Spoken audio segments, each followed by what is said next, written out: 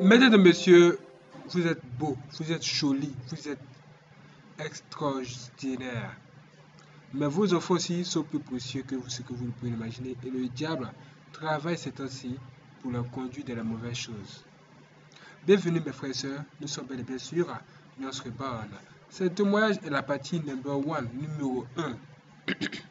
Excusez-nous. Le témoignage 337 sera la deuxième partie. Ça veut dire que vous devez vous abonner si ce n'est pas encore fait.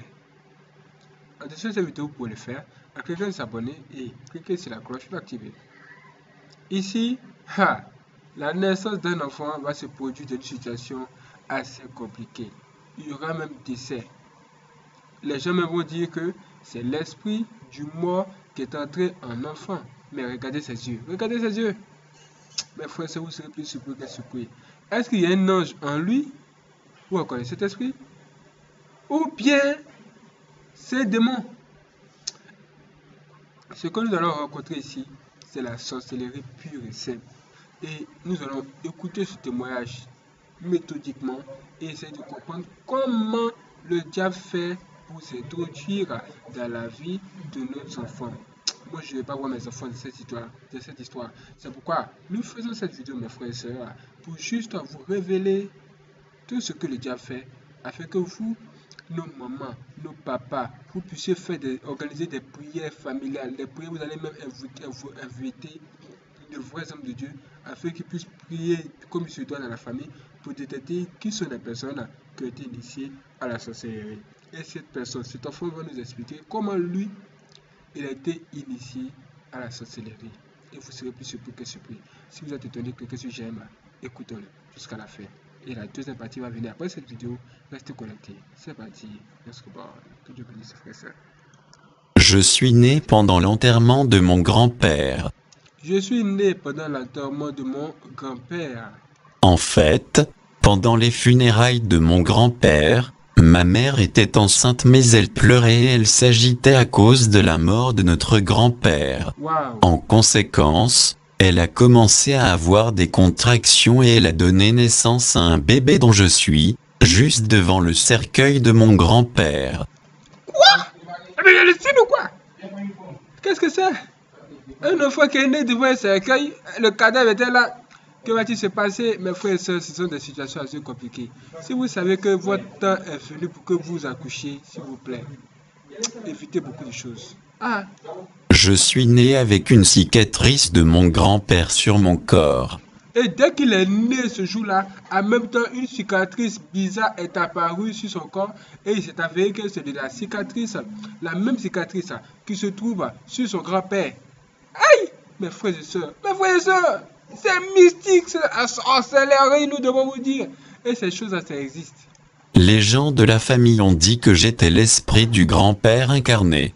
Absolument, les gens vont forcément en parler. Ils vont dire, mais ah, qu'est-ce qui ne va pas? Mais pourquoi? C'est comme ça. Comment se fait-il? Mais vous-même, mes frères et sœurs, est-ce que vous avez déjà vécu cette expérience? Et comment vous vous sentez déjà? Laissez dans la partie commentaire, j'aimerais bien savoir ce que vous en pensez. Quand j'étais encore enfant, la sorcellerie commença à se manifester dans ma vie à travers des rêves lucides. Et c'est maintenant que cet homme va commencer, ou encore cet enfant va commencer à comprendre des choses assez compliquées. Il va comprendre, aujourd'hui, il nous dit que c'est là il a commencé à comprendre qu'il y a vraiment l'esprit de la sorcellerie qui a commencé à se manifester dans sa vie. Et ça a commencé où? Dans, ses rêves. C'est-à-dire dans la nuit, quand il dort, dans son sommeil, c'est là il commence à voir de telles choses. Tout ce qu'il va dire par la suite là, si toi mon frère, tu rencontres, toi ma soeur aussi, tu vas remarquer toi aussi, tu as, tu as de telles réactions ou encore tu vois de telles choses, dans le moment de te confesser, d'aller voir un homme de Dieu, pourquoi on prie pour toi? Écoute bien maintenant les éléments qu'il va donner. Je faisais des rêves qui étaient en fait des réalités du monde spirituel des sorciers. Il y a deux sortes de sorcellerie, la sorcellerie active ou consciente et la sorcellerie subconsciente qui se manifeste dans les rêves.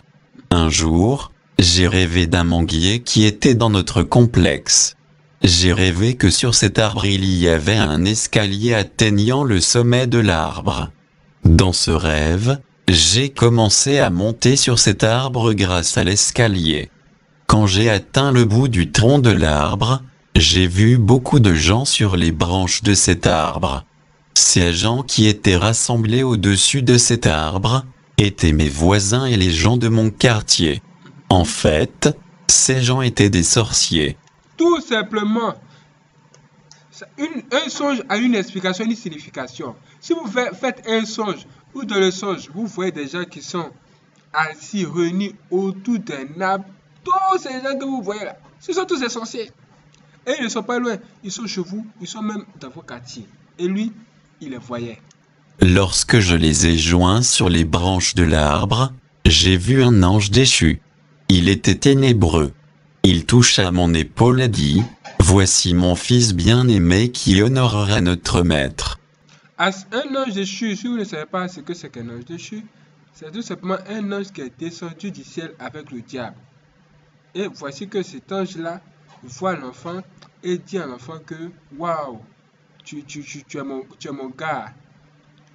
Genre, il parle comme Dieu, tu es mon fils bien-aimé. Si vous voyez ces choses, cet ange-là, vous devez prier, vous devez invoquer le feu de Dieu sur lui. C'est un démon. Il n'est pas là pour vous arranger. Si vous êtes dans cette situation, mes frères et sœurs, c'est le moment de vous réveiller. Alors l'ange me blessa en faisant un signe sur mon pied. Ce signe représente l'œil de Lucifer. En fait, ce signe mystique me rendit capable de voir au-delà des yeux optiques.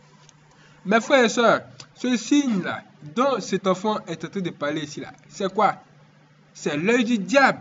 Ah Mes frères et sœurs, c'est aujourd'hui vous allez comprendre que ça rigole pas ici et que nous ne sommes vraiment pas venus sur la terre pour s'amuser, pour nous amuser.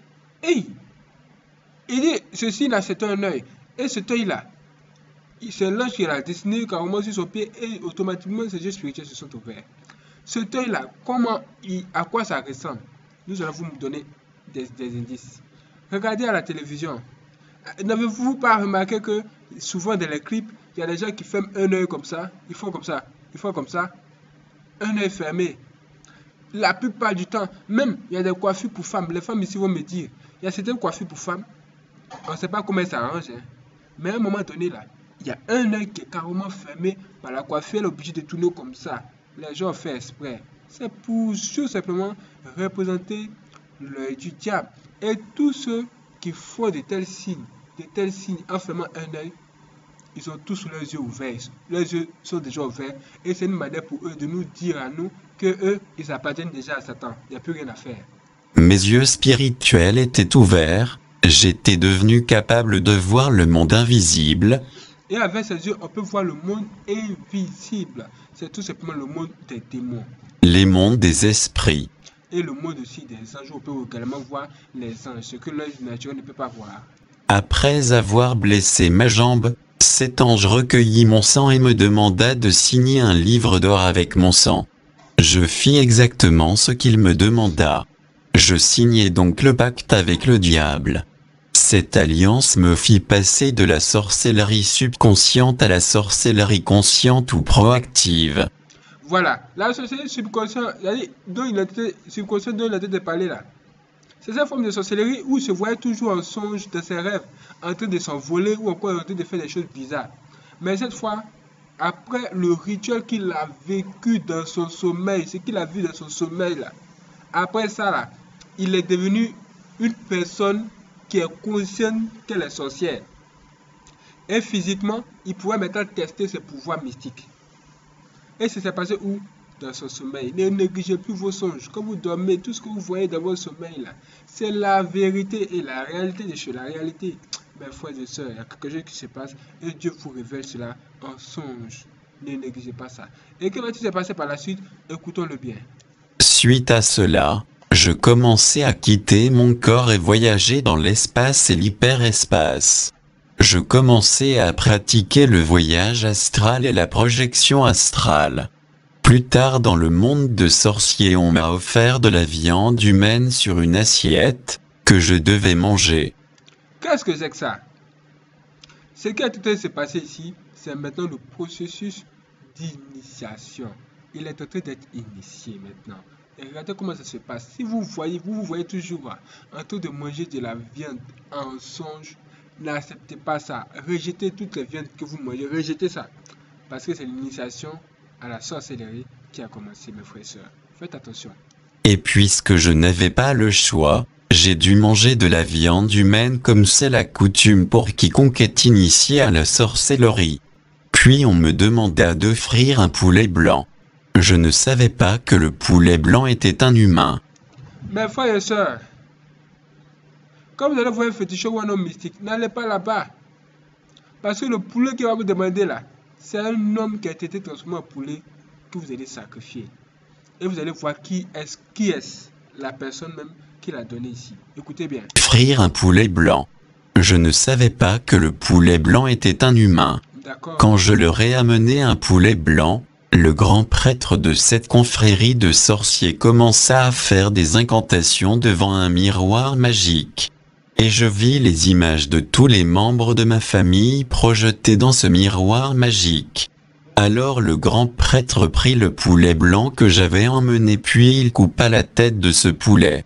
Dès qu'il fit cela, je vis ma tante dans le miroir réagir avec douleur. Elle commença à agoniser comme si elle souffrait atrocement.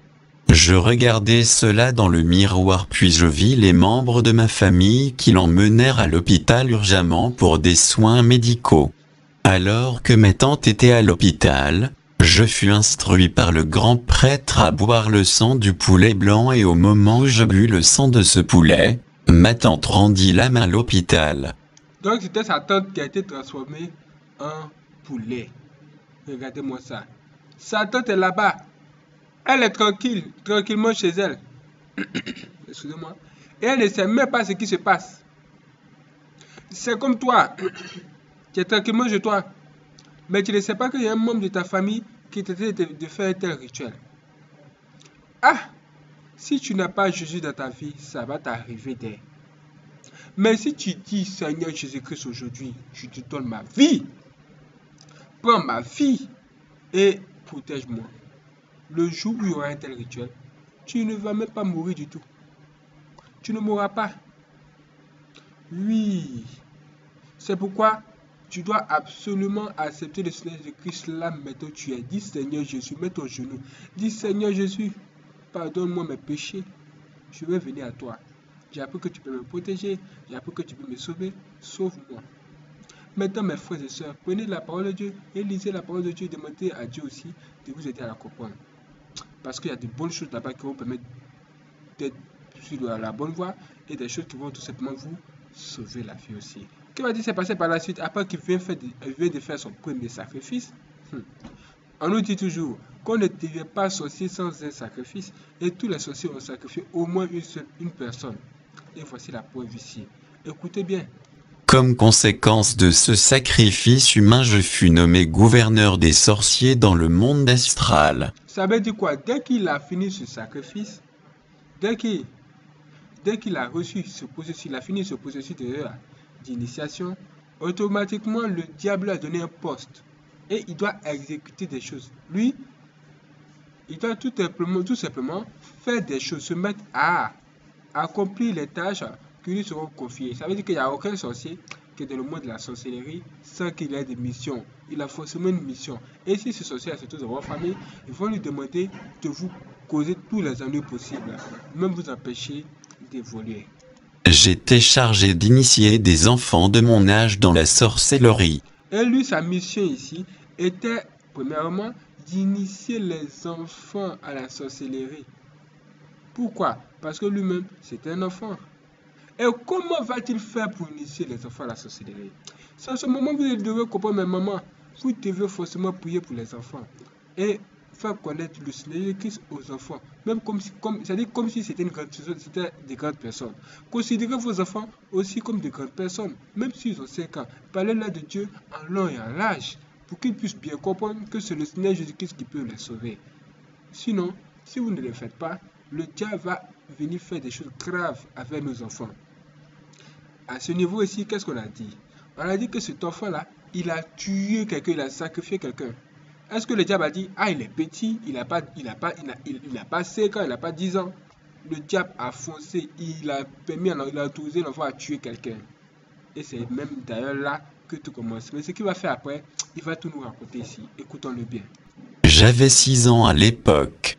J'ai Ah, il avait, il dit, j'avais 6 ans. à l'époque. Ah, Est-ce que j'ai mal entendu? Il dit qu'il avait 6 ans. Aujourd'hui, là, il y a des enfants de 6 ans à, l'église. On les regarde. Ah, les enfants là, ils sont exposés comme ça. L'homme de Dieu j'étais de, de, de prêcher. Les mamans laissent les enfants là dehors comme ça s'amuser. Et l'enfant là avait 6 ans et il a fait déjà son premier sacrifice. Mon âge dans la sorcellerie. J'avais 6 ans à l'époque. Il avait 6 ans. J'ai dû répandre la sorcellerie chez les enfants. J'utilisais des bandes dessinées comme outil pour initier des enfants dans la sorcellerie subconsciente. J'utilisais des dessins animés comme Dragon Ball Z, comme Dora ou Bubule Sirène et aussi Bubule Lilith. Ces bandes dessinées rendent les enfants rebelles et têtus envers leurs parents. D'abord les enfants vont commencer à rêver puisque la sorcellerie inconsciente se manifeste dans des rêves lucides. Mais une fois que ces enfants passent de la sorcellerie subconsciente à la sorcellerie active, ils doivent nous fournir des informations sur leur famille. Est-ce que vous comprenez Est-ce que vous avez vu le code? Est-ce que vous avez compris? Il est, il train de dire qu'il utilisait tout simplement les dessins animés pour pouvoir tout simplement initier les enfants. Ça veut dire quoi? Ça veut dire que si ton enfant regarde un dessin animé où il y a la violence, où on parle des sirènes, quand il va s'endormir, il va aller avoir un rêve, un songe. Et dans son songe là, ah, c'est là-bas il va se voir même en train de faire des combats comme ça. Et eux, les sorciers, ils profitent de cette belle opportunité pour entrer dans leur sommeil. Ils peuvent le faire. Ils ont dans leur sommeil maintenant pour leur donner la sorcellerie. Pourquoi? Parce que le dessin animé que les enfants ont regardé avant de s'endormir les a déjà, a déjà préparé leur subconscient à recevoir ces sorcelleries. Et voici comment la sorcellerie là, va devenir maintenant consciente et physique. Et c'est en ce moment-là, vous allez savoir que vraiment, c'est pas tout on doit regarder à la télévision. C'est pas tout on voit. Et nous, vraiment, nous devons faire attention. Faisons vraiment attention à nos enfants. Faisons vraiment très attention. C'est parti. active, ils doivent nous fournir manifeste dans des rêves lucides. Puisque la sorcellerie inconsciente se manifeste dans des rêves lucides. Mais une fois que ces enfants passent de la sorcellerie subconsciente à la sorcellerie active, ils doivent nous fournir des informations sur leur famille. Dès lors, lorsque leurs parents obtiennent leur salaire, nous travaillons pour générer des problèmes qui feront qu'ils puissent dépenser leur argent, et à la fin ils ne font rien de significatif avec cet argent. Je transmettais de la sorcellerie à d'autres enfants par la nourriture. Une fois qu'un enfant mange cette nourriture, elle se transforme en une viande humaine et cette viande mystique active des facultés extrasensorielles à l'enfant, et ouvre ses yeux et ses oreilles au monde invisible. Un jour, j'ai donné une nourriture à manger à un ami pour l'initier à la sorcellerie. Après qu'il l'avait consommée, j'étais sûr qu'il était réveillé spirituellement. La nuit, je sortis de mon corps, je voyageais hors de mon corps vers sa maison pour appeler son esprit hors de son corps, parce que je présumais que ses yeux spirituels et ses oreilles étaient déjà ouverts. Quand j'ai atteint sa maison, j'ai essayé d'appeler son esprit mais il ne répondait pas. J'ai appelé son esprit à plusieurs reprises, mais il ne réagissait pas. J'ai fait toutes sortes de cérémonies et de rituels pour le faire sortir de son corps afin de l'emmener au grand rassemblement de sorciers, mais il ne répondait pas. Puis j'ai appelé à l'aide d'un sorcier expérimenté de notre confrérie pour résoudre cette situation. Quand il vint, il apporta un miroir magique et commença à invoquer l'esprit de cet enfant apparaître sur le miroir magique, mais au lieu que l'esprit de cet enfant apparaisse sur le miroir, nous avons vu une paire de chaussures apparaître sur le miroir. Nous étions confus, nous ne pouvions pas comprendre la signification de ceci. Alors mon collègue qui était un ancien sorcier s'est transformé en un hibou. Il survola et pénétra à l'intérieur de la maison de cet enfant pour le faire sortir. J'étais là en train de les attendre, mais ils prenaient du temps pour sortir de la maison. Je les ai attendus de minuit à 5 heures du matin, mais ils ne sortaient toujours pas. Quand il était l'aube, je devais retourner dans mon corps. J'ai compris que mon collègue était coincé à l'intérieur de cette maison. Le matin, j'ai appris qu'il y avait des funérailles dans le quartier et c'était mon collègue sorcier qui était décédé. Plus tard, il y a eu une réunion d'urgence dans le monde astral pour déterminer la cause de sa mort. Nous avons découvert que les parents de l'enfant que j'essayais d'initier dans la sorcellerie étaient des chrétiens nés de nouveau. Nous découvrions que récemment ils avaient acheté une nouvelle paire de chaussures pour un prédicateur qui était venu prêcher dans leur église, car les chaussures de ce pasteur n'étaient pas en bon état. Lorsqu'il avait offert les chaussures à ce prédicateur, il était si joyeux qu'il a prié pour eux. Je veux rappeler aux chrétiens que soutenir l'œuvre de Dieu peut amener le Seigneur à protéger et à préserver ce qui est précieux pour eux. Il y a sept niveaux dans la sorcellerie subconsciente, et ces sept niveaux se manifestent dans les rêves. Une fois que vous êtes initié ou utilisé dans la sorcellerie inconsciente, vous commencez à rêver que vous participez à des réunions et des rencontres. Vous rêvez que vous êtes en train de manger avec des gens que vous ne connaissez pas.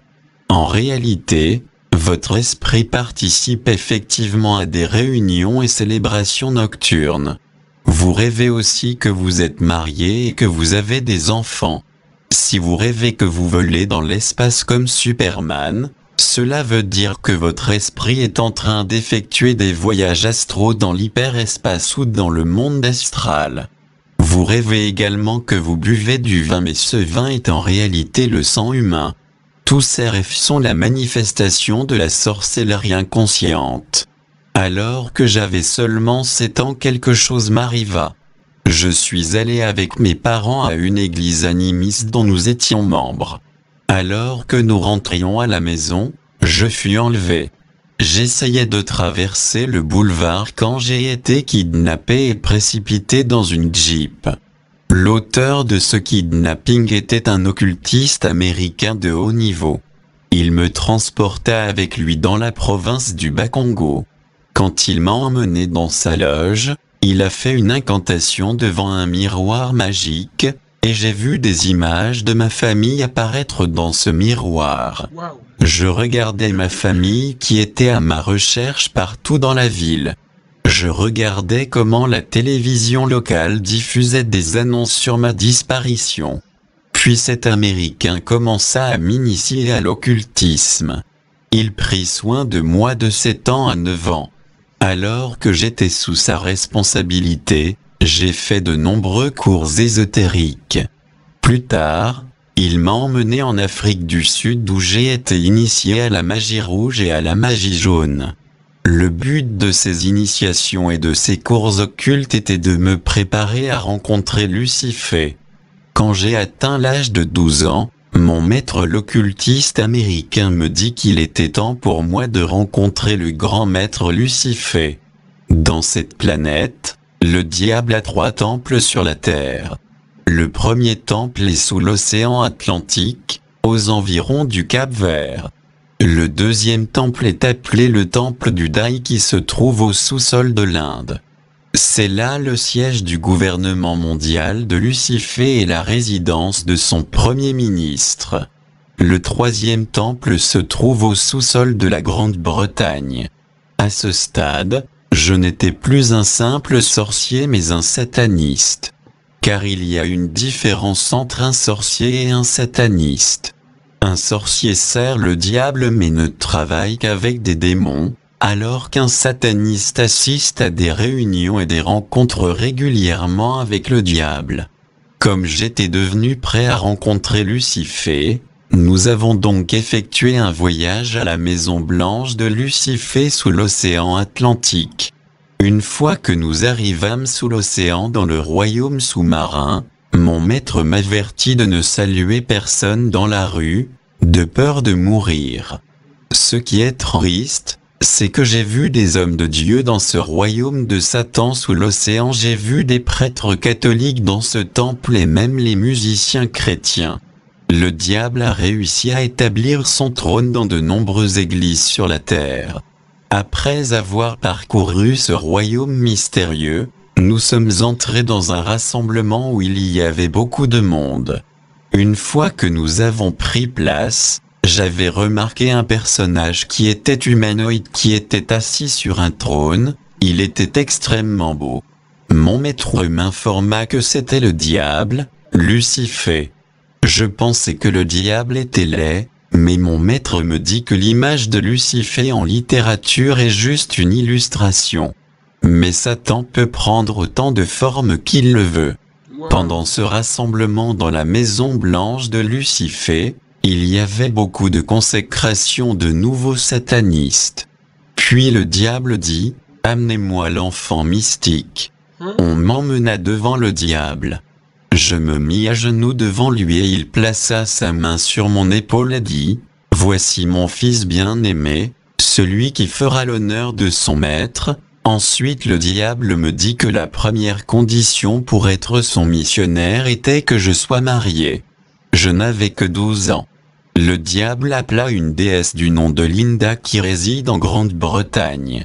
Elle est responsable de la conception des ongles artificiels, des poudres, des cils artificiels, des produits de beauté qui rendent les femmes séduisantes. Lorsque la sirène Linda s'approcha, je remarquai qu'elle était plus élancée que moi, mais elle fit une prière magique, se réduisit et rétrécit jusqu'à mes tailles.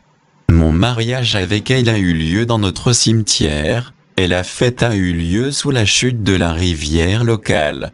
Il y avait beaucoup de gens à ce mariage, y compris des musiciens chrétiens.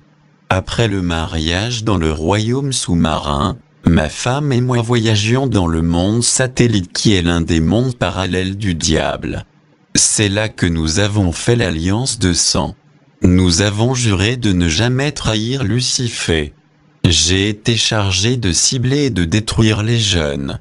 J'avais le pouvoir d'envoûter des jeunes gens en les entraînant à faire des pactes de sang.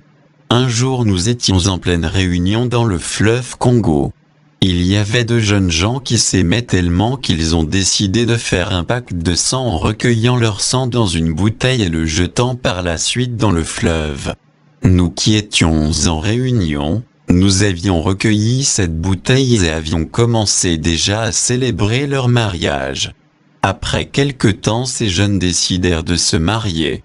Le jour prévu pour la célébration du mariage, le couple revenait du salon de coiffure pour se rendre au lieu de célébration. En chemin, ils ont fait un accident et sont morts sur place. Pendant que les gens les pleuraient, nous étions en train de leur passer des anneaux aux doigts. Le monde satellite est un monde parallèle qui s'appelle également le monde cellulaire. C'est à partir de ce royaume que la technologie de la téléphonie mobile est originaire. J'étais le représentant de ce royaume dans mon pays. Les codes de réseau comme 555 ou 999 ou 777 sont tout simplement 666. Après ma consécration dans la maison blanche de Lucifer et mon mariage avec la sirène Linda, le diable me donna 999 démons pour travailler avec moi dans différentes opérations et missions. J'avais reçu le titre de malfaiteur. Le diable m'avait ensuite remis un hexagramme, une étoile à six branches. J'avais pour mission de détruire les églises vivantes de Jésus-Christ avec cette étoile. Je devais combattre les vrais serviteurs de Dieu. Je devais détourner leur prédication, et au lieu de prêcher la parole de Dieu telle qu'elle est écrite, ils devaient se mettre à raconter leur vie, leurs expériences de voyage, et toutes sortes d'enseignements qui n'ont rien à voir avec la Bible. Voici les fonctions des six branches que constituait l'étoile que j'avais reçue. Première branche, Ma première mission était d'inciter les chrétiens à douter de la parole de Dieu afin d'affaiblir leur foi. Car sans la foi, il est impossible de plaire à Dieu, et la foi vient de la parole de Dieu qu'on entend.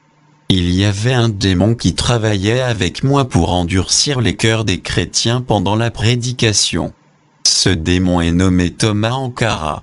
Ce démon pousse les chrétiens à ne pas obéir à la parole de Dieu. Il pousse aussi les chrétiens à aller au culte en retard, sachant que les anges viennent à l'église à temps avec la bénédiction pour le chrétien. Deuxième branche, ma deuxième mission était d'empêcher les chrétiens de lire la parole de Dieu. J'étais aidé par le démon hindou Ankara. Nous faisions en sorte que les chrétiens ne lisent pas la Bible, mais plutôt d'autres livres comme les tours de garde. La lecture de la Bible est l'un des piliers de la vie chrétienne. Pendant la prédication de la parole dans l'Église, je déployais des démons qui avaient la taille des moustiques pour distraire les gens et pour pousser leurs pensées à voyager. Troisième branche, ma troisième mission était d'empêcher les chrétiens de prier sans cesse comme nous le recommande la Bible dans un Thessaloniciens 5h17. Une fois qu'un chrétien perd l'habitude de prier, il sera difficile pour lui de reprendre cette habitude et quand il essaie de prier, il manque de mots, il a du mal à se concentrer, un sentiment d'agitation est autour de lui. La première chose que je faisais pour empêcher une vie de prière chez les chrétiens, c'était de mettre en eux l'incrédulité. Cela les éloignait de leurs encadreurs et de la parole de Dieu.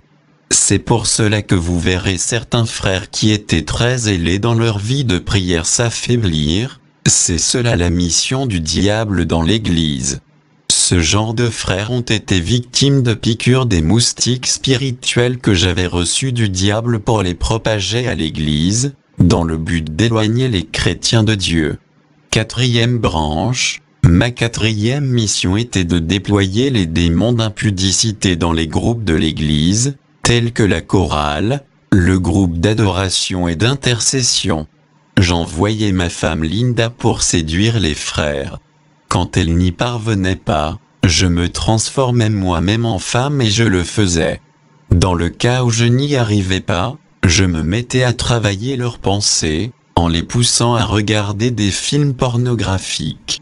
Les films pornographiques dans la magie noire sont une initiation sexuelle parce qu'ils sont tournés par des démons. Ces films sont consacrés au monde de Polyum. Quand vous les regardez, vous êtes contaminé. Vous ressentez des grands désirs sexuels au point de ne pas pouvoir vous contrôler. Nous travaillons alors vos pensées pour vous entraîner à la masturbation. Or dans la magie noire, lorsque vous vous masturbez, vous êtes en réalité en train d'avoir des rapports sexuels avec 600 démons. Après cet acte, 300 démons partent et 300 restent, et vous maintiennent dans l'impudicité. Vous commencez à aimer le sexe sans contrôle et sans retenue. Le groupe d'intercession était mon principal objectif parce qu'ils sont l'un des piliers de l'Église. Plus ils sont forts, plus l'Église est forte. J'attaquais le groupe d'intercession en envoyant la sirène Linda. Quand elle échouait, j'envoyais la sirène Jacqueline. Quand elle échouait, j'utilisais des produits de beauté, des cils, des lotions comme porte d'entrée afin d'atteindre les intercesseurs. J'utilisais ces produits au cas où ils étaient conçus par les sirènes.